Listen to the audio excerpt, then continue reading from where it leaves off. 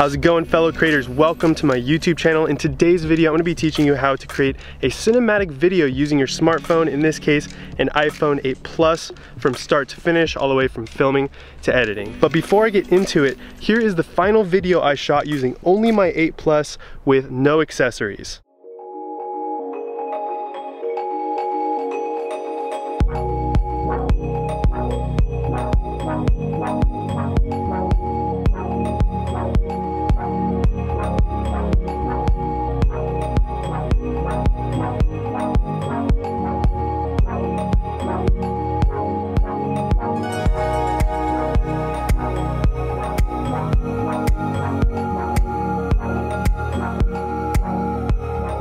Yes, I'm a little bit sick right now, a little bit under the weather with like a cold. It's just been a long week, really busy. I think I got kind of sick because of that, but because you guys are so amazing, I've been getting so much awesome feedback on this channel, I had to make a video and I really want to share this topic with you guys, so here we go. I'm gonna break this video up into two main sections, the shooting part and then the editing part. So without further ado, let's get started with the shooting. I've got four main tips when it comes to shooting cinematic videos with your smartphone, my iPhone.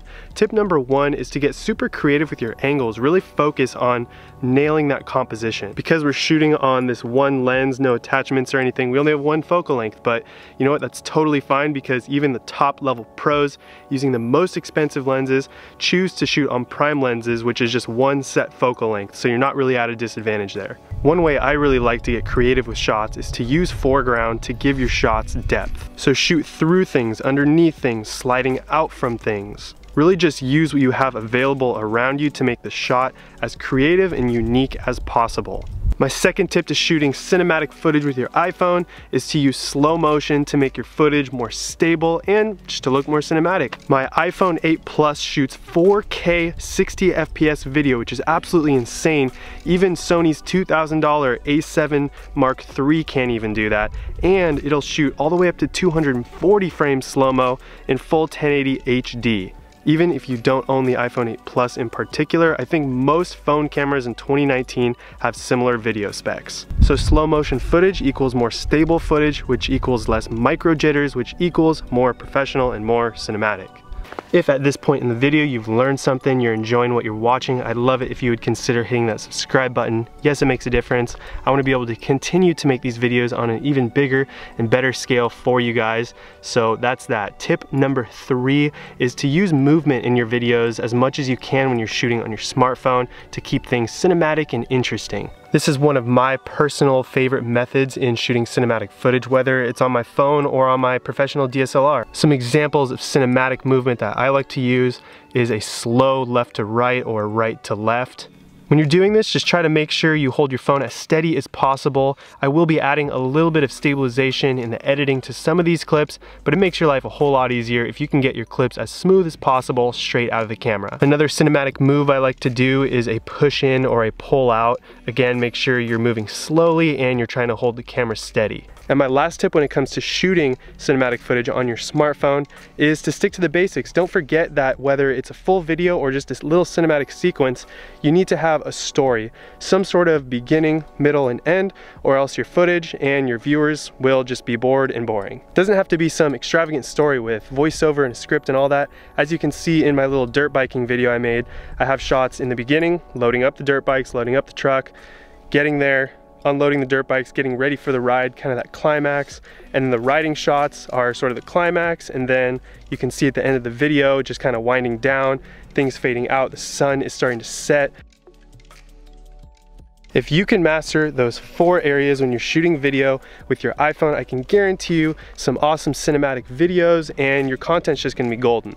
So at this point, I'm gonna shift over to the editing room because that's all I have to say in terms of shooting and it's getting pretty hot out here. All right, so you've shot some amazing cinematic footage using your smartphone, but you're not quite sure how to edit it. Right now, I'm gonna be giving you four tips on how to spice this cinematic footage up and really make it come to life. So let's get into it. The first thing that I do when I'm creating a cinematic sequence from the footage that I shot is I add cinema bars or a letterbox. So I'm gonna go and search in Final Cut Pro for the letterbox. Oh, it's not a transition. It's over here, letterbox. And then I'm gonna go and put it on top of an adjustment layer that I will link below this video in the description that you can download. Adjustment layers are super clutch and you're gonna use it for your letterbox and later for your color grading once you get into that. So I'm gonna throw the letterbox on top of our footage here on the adjustment layer. I'm gonna rename that to, um, I'm gonna call it cinema bars. Don't know if that's the correct terminology or not. I'm gonna set it to 235 to 1, which is kind of the classic cinematic ratio. As you can see, you're already looking more cinematic. Easy as that. So that is typically the first thing I do. I'm not going to go through and edit this entire sequence because that would take forever and we only have limited time here and I don't want to bore you and keep you here forever. So I'm just going to work with these first few clips here. So we have our cinema bars. That is tip number one to do that's going to already make your footage look cinematic. Um, you can see if you put it next to for example, let's see, now, like a vlog clip.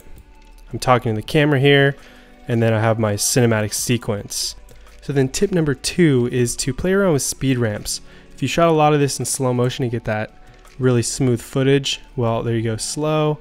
You don't want the whole thing to be slower, that's just gonna be boring. So you wanna see that, that was a little speed ramp there. So how I would do that is I would go to blade speed, which I've already done on the clip, so it's going to show up. There you go. Here's your slow motion footage you've shot, and then you would make this like a thousand percent or something. So boom, thousand percent, and then on the next one, that last little bit, I would again blade speed, but I've already done it. As you can see, 800%, just that very first clip, and then slow again. So it goes from slow to fast to slow, and it makes a nice transition. So as I'm, and then you can see I did it again there. Quick, fast, slow. So I really like incorporating this into my cinematic sequences. Tip number three, and probably the most important tip, is color correction and color grading. So to do this, again, I'm gonna add another adjustment layer. Whoops. Underneath those cinema bars, color grade. There's a difference between color grading and color correction. I'll probably go into that into a different video, but basically the color grade is like that stylized cinematic look. And then the color correction is just simply fixing your exposure and stuff like that. I'm gonna search custom LUT and I'm gonna apply my S-Log LUT that I use for a lot of my footage. Now I did not shoot this iPhone footage in S-Log, so I'm gonna tone this way back. Actually, I think it might be this one. There we go. It's this one. It's kind of an orange and teal LUT that I've made. Obviously, this looks completely terrible. Like I said, I didn't shoot in S-Log, which is how I designed this LUT. So I'm just going to add only a little bit. So this would be 100%. This is like looking good right about here, maybe 37, 36%. So here's the difference already. So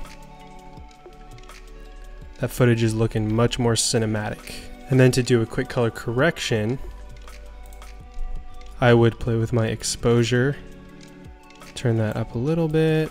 Again, I'm not going to go into this, but now the colors look much better. And my fourth and last tip when it comes to editing your cinematic footage is to add a little bit of stabilization where you might need it because smartphones are definitely not the most stable. So let's take this clip for example. You're going to scroll down, click the clip, highlight it, super easy and then just click stabilization. You can control how much stabilization you want right here, um, but I just, for the most part, leave it at the standard one. So it's already a lot more stable than it was before. Again, it just kind of adds an extra little touch. I'll go through all my clips and do all four of these things in that order, and then eventually I'll have a banger little cinematic sequence that I shot 100% on my smartphone.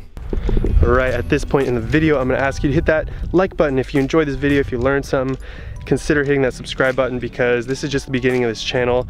I've already felt so much love from all of you.